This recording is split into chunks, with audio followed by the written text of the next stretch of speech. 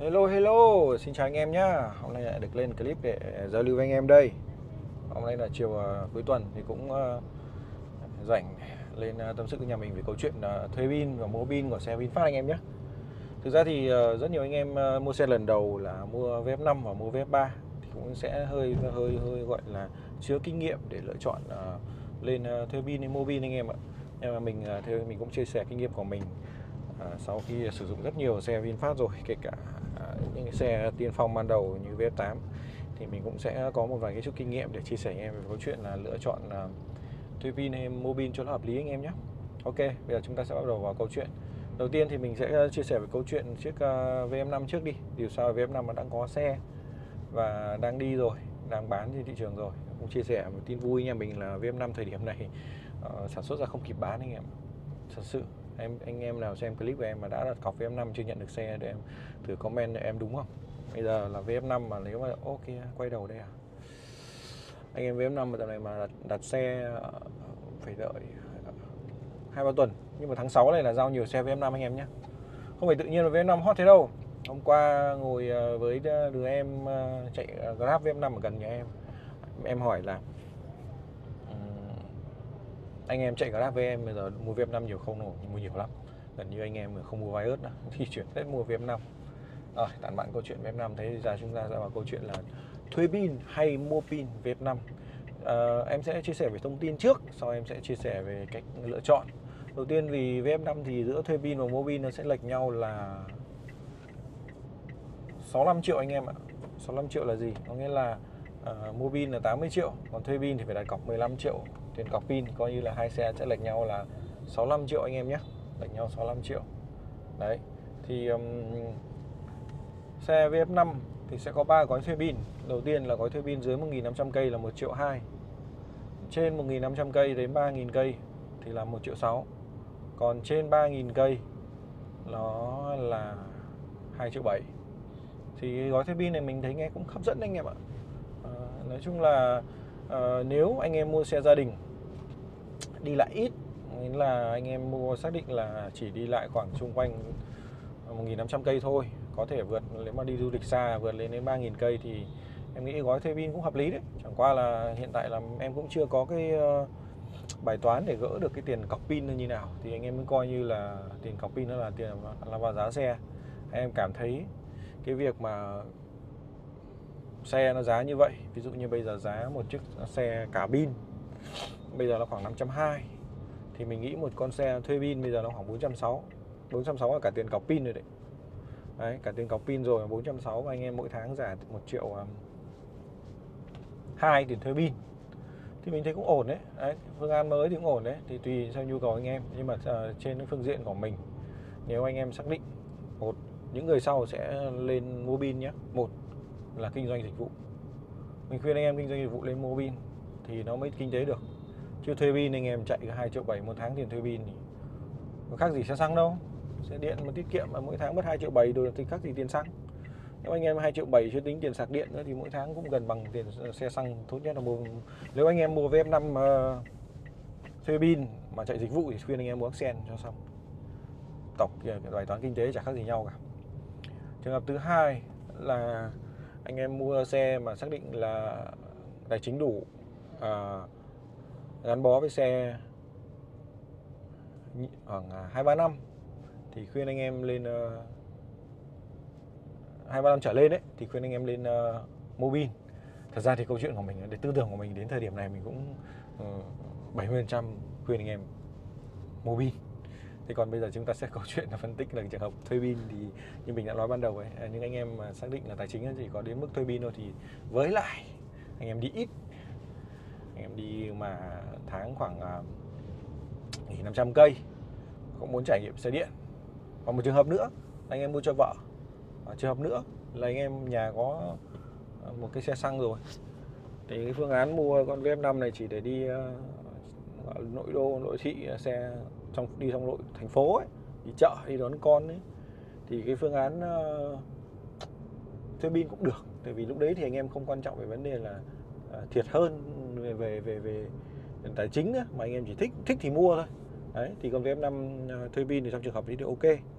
Đấy chứ còn trường hợp mà các trường hợp khác thì chỉ khuyên anh em mua pin. Với lại nữa mua pin thì thời điểm này có một cái lợi thế nữa là mua pin thì được giảm 4% gọi cho cái viên pin. Nghĩa nghĩ như là giá thuê giá mua pin rẻ hơn giá thuê pin là cái chắc rồi. Vì thuê pin anh em không được giảm cái tiền đó. Đấy em năm xong rồi đấy anh em mình thấy mình trong trường hợp nào thì mình lựa chọn nó phù hợp nhé đây còn chuyện VF 3 nó mới khác là anh em ạ, thật sự VF 3 nó mới khác. VF3 anh em trong hội VF3 thì cũng khá là nhiều người là, là mua xe lần đầu mua VF3 giờ cũng chưa biết là lên thuê pin hay mua pin. Tại vì cái xe này thì nó cũng sắp đến ngày nhận xe rồi. Tháng bây giờ là tháng 6 rồi. Mình không nhầm thì khoảng tháng rưỡi nữa là bắt đầu là sẽ bàn giao những chiếc xe đầu tiên. Và đến tháng 9 tháng 10 tháng 11 là bắt đầu bàn giao rầm rộ. Lúc đấy thì anh em phải quyết định là mình mua pin hay thuê pin là phải quyết định ngay rồi. Không còn cơ hội để suy nghĩ nữa rồi thì về trường hợp VF3 ấy thì uh, theo mình được thấy giữa gói thuê pin của VF3 là gói 900 nghìn 1 triệu 2 và à, dưới 1.500 cây là 900 nghìn trên 1.500 cây là 1 triệu 2 hình như trên 2 trên 3.000 cây là 2 triệu thì phải. Ok nói chung là gói thuê pin khá là rẻ. Và tiền cọc pin cũng rẻ anh em ạ thì cọc pin có 7 triệu. Mà trong khi đó VinFast lại còn khuyến mại chiên anh em ờ, tiên phong khá là nhiều nên là cái tiền cọc pin này coi như không có. Mình coi như không có tiền cọc pin đối với anh em VF3 tiên phong. Đấy, thì bây giờ câu chuyện là tranh lệch khoảng 70 triệu. Tranh lệch khoảng 70 triệu giữa mua pin và thuê pin. Thì anh em uh, lên như thế nào? Thực ra mình cũng là người phân vân giữa thuê pin và mua pin mình cũng tâm sự thật. Mình đặt cọc hai xe mình đang nghĩ là bây giờ mình khả năng cao mình sẽ chọn một con uh, thuê pin một con mua pin đây. Nhưng mà mình đang khá là suy nghĩ. Thì mình cũng dựa vào suy nghĩ của mình để chia sẻ anh em về câu chuyện con VF3 những ai thì lên thuê pin? Đầu tiên, những anh em mà xác định mua con xe này chỉ đi theo đúng cái mục đích sử dụng của nó là đi xung quanh thành phố, đi chợ, đi làm, đi khoảng 1.500 cây một tháng, ok. Thì anh em thuê pin hợp lý. Ngoài ra nữa, thỉnh thoảng em đi du lịch, có vượt quá một tí lên đến 3.000 cây thì cũng chỉ thêm có 300 nữa thôi, không đáng bao nhiêu cả. Thì em thấy là trường hợp thuê pin này là khá là là ngọt nước đấy. Tại vì sao? Như em là, em ngẫm bây giờ ví dụ anh em mà làm thủ tục vay ngân hàng như em em thì em thấy lấy tiền ngân hàng ra lấy xe chẳng hạn. Đấy, thì bây giờ em lấy 200 thì lãi nó chỉ có này thôi, mà lấy 208 thì em phải trả thêm khoảng à, 8% cho 80 triệu đấy. À, 8864 là 64 triệu tiền lãi.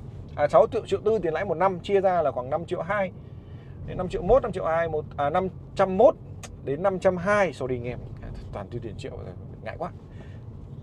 À, thì bây giờ là câu chuyện là mỗi tháng mình phải giả lãi nhé cho cái khoản gốc đấy là khoảng à, 520 nghìn tiền lãi.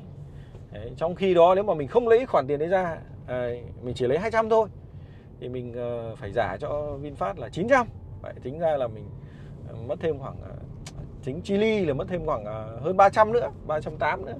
Thì mình ngẫm 380 đáng bao tiền đâu? 380 thì coi như bằng tiền cà phê bù lại, mình chả bao giờ mình quan tâm pin nó chai, pin nó làm sao cả. Pin là mình đi thuê không phải của mình. Đấy, hỏng hay như thế nào thì sạc bù, sạc nhồi, sạc các thể loại, sạc ngoài, sạc trong, sạc nhờ, sạc bét nhè đi. Thì cũng kệ đó, chai thì là gì? Chai thì là báo với nhà sản xuất là pin chai rồi đấy, ông đổ cho tôi. Đấy thì nếu mà để bỏ ra 300 nghìn mua sự thoải mái thì mình nghĩ là hợp lý hơn, anh em ạ. Thế còn trường hợp nào thì mua pin?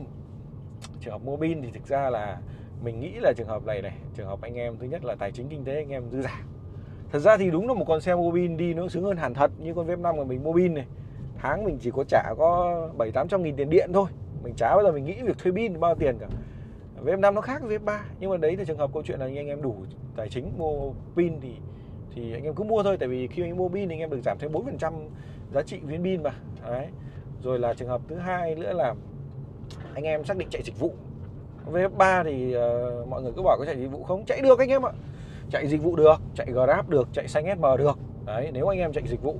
Còn VF3 này thì khuyên anh em mua pin đấy mình câu chuyện là là như thế. Mình thì mình đang đang đang đang rất là suy nghĩ câu chuyện là VF3 mình chẳng nhẽ mình đăng ký một cái xanh SM mình chạy thử xem như thế nào. Thì vì thời gian mình cũng khá là rảnh.